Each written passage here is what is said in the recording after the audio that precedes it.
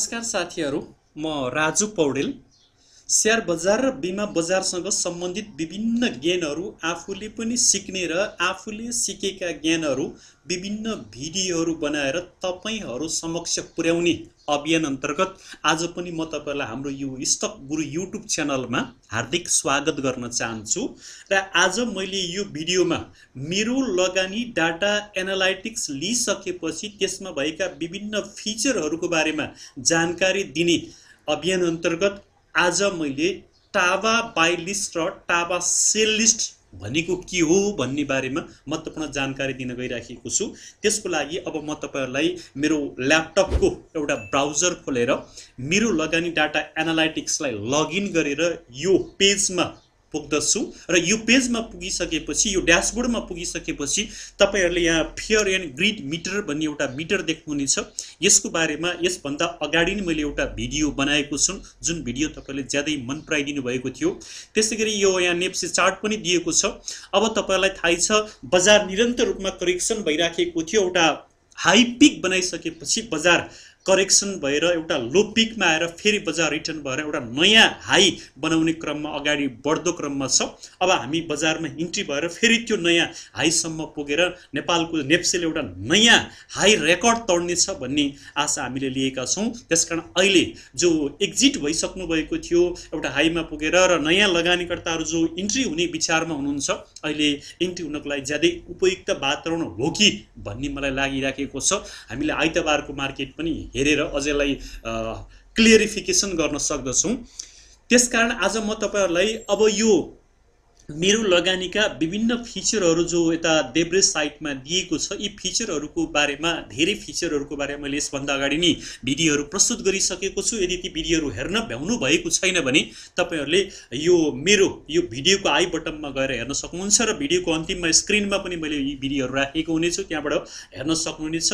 अब म तपाईँहरूलाई यो टेक्निकल एनालाइसिसको एडभान्स चार्टको बारेमा यसभन्दा अगाडि नै मैले भिडियो बनाइसकेको छु। मल्टी चार्ट पनि त्यसैमा इन्क्लुड छ। आज म तपाईँहरूलाई टाबा बाइलिस र टाबा सेल लिस्टको बारेमा जानकारी दिन गइराखेको छु। यहाँ गएर म क्लिक गर्न चाहन्छु। टाबा बाइलिस्टमा क्लिक गरिसकेपछि अब तपाईँले टाबा भनेको के हो भनेर बुझ्नुपर्ने हुन्छ। टाबाको full form trading above volume average भन्ने बुझिन्छ। हामीलाई के कुरा जानकारी हुनु पर्यो त भन्दाखेरि सबै कम्पनीको पाँच दिनको भोलुमलाई यो लिस्टले आइडेन्टिफिकेसन गरेको हुन्छ। पाँच दिनको भोल्युम सम्पूर्ण नेप्सेमा लिस्टिङ भएका कम्पनीहरूको पाँच दिनको एभरेज भोल्युम यसले देखाएको हुन्छ। र टाबा बाई लिस्टमा जुन लिस्टहरू देखिएका छन् त्यो लिस्टबाट हामीले के थाहा पाउनु पर्यो त भन्दाखेरि पाँच दिनको एभरेज भोल्युम भन्दा बढी भोल्युममा यी कम्पनीहरूको सेयर कारोबार तोलिन भयो भन्ने कुरा हामीले बुझ्नु पर्यो। यसबाट तपाईँले के बुझ्नुहोस् त भन्दा पाँच दिनको एभरेज भोल्युमभन्दा बढी भोल्युममा यी जुन लिस्ट यहाँ दिएको छ यी कम्पनीहरूको सेयर कारोबार भएर प्राइस पनि कम्तीमा टु पर्सेन्टले इन्क्रिज भयो भने त्यस्तो अवस्थालाई हामी टाबा बाई लिस्ट भनेर भन्न सक्छौँ बुझ्छौँ। टाबा बाई लिस्टमा अब तपाईँहरूले लगानी गर्ने विचार गर्नुभएको छ भने यहाँ जुन कम्पनीहरू दिएको छ जस्तै एक नम्बरमा आरम्भ चौधरी लघु वित्तीय संस्था यसमा हामी सेयर लगानी गर्न सक्छौँ। Central finance green life hydro power Ganapati micro finance Mirmire micro finance Nepal Bangladesh निरुद लघुवित्त राधि वित्तीय कम्पनी धेरै कम्पनीहरूको यहाँ लिस्ट आएको छ टाबा बाई लिस्टमा। त्यस्तै गरी Shivam cement Shivashree hydro power united Modi united Mardi बिजिए लघुवित्त यो गत बिहिबारको दिनमा टाबा बाई लिस्टमा परेका कम्पनीहरूको लिस्ट छ। यी कम्पनीहरूको लिस्टबाट हामीले के बुझ्नु पर्यो त भन्दा यी कम्पनीहरूको एभरेज पाँच दिनको भोल्युमभन्दा बढी भोल्युममा कारोबार भइराखेको छ र त्यो दिन कारोबार भयो र दुई पर्सेन्टले प्राइस इन्क्रिज भयो भन्ने कुरा हामीले यहाँबाट बुझ्न सक्छौँ। अब तपाईँहरूले त्यसै गरी टाबा सेल लिस्ट भनेको के हो भनेर बुझ्नु पर्यो। पाँच दिनको एभरेज भोल्युममै कारोबार भइराखेका कम्पनीहरूमध्ये एभरेज भोल्युमभन्दा बढी भोल्युममा कारोबार भएको तर ती कम्पनीहरूको प्राइस डिक्रिज भएको अवस्थालाई हामीले टाबा सेल लिस्ट भनेर भन्दछौँ। यो सेल लिस्टमा कुनै पनि कम्पनी परेको देखिएन त्यो दिनमा। यसबाट तपाईँहरूले के बुझ्नुहुन्छ भने अब बजार बुलिस ट्रेनमा फेरि प्रवेश गर्यो। किन भन्दा बुलिस ट्रेनमा प्रवेश गर्दाखेरि टाबा सेल लिस्टमा कम्पनी नै देखिराखेको अवस्था छैन। यसबाट अब हामी बजारमा इन्ट्री भएर बुल मार्केटमा हामीले यी कम्पनीहरू छानेर लगानी गर्न सक्छौँ भन्ने कुराहरू तपाईँहरूले बुझ्नुपर्ने हुन्छ। मैले तपाईँलाई धेरै पटक भनेको छु धेरै भिडियोमा तपाईँलाई अनुरोध गरेको छु सेयर बजारमा सेकेन्डरी स्टक मार्केटमा लगानी गर्ने हो भने हल्लाको भरमा लगानी नगर्नुहोस् हचुवाको भरमा लगानी नगर्नुहोस् लही लहीमा लागेर लगानी नगर्नुहोस् छिमेकीले कमायो भन्दैमा लगानी नगर्नुहोस् बुझेर अध्ययन गरेर यी विभिन्न प्रकारका कुराहरूलाई अध्ययन विश्लेषण गरेर मात्रै लगानी गर्नुहोस्। तपाईँहरू एकदमै नयाँ लगानीकर्ताहरू हुनुहुन्छ भने टप टेन टर्नओभरमा एक हप्ता अथवा दस दिन परेका कम्पनीहरूमा पनि तपाईँहरूले लगानी गर्न सक्नुहुन्छ। ती कम्पनीहरूको लिस्ट यहाँबाट हेर्न सक्नुहुन्छ।